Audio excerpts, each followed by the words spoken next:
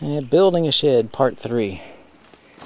Um, I've got the four main blocks laid out, poured concrete all around them.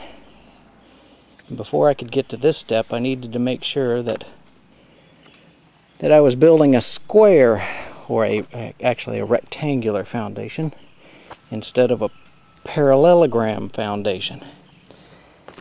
And the way I determined that was to measure both the diagonals.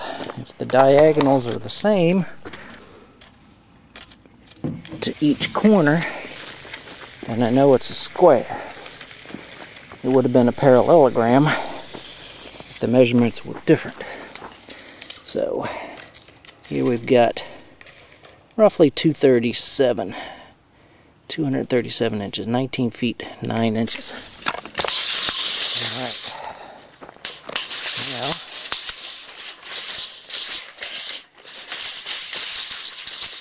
Tape measure to work.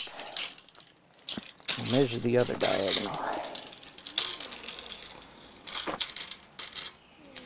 Alright, there's one corner.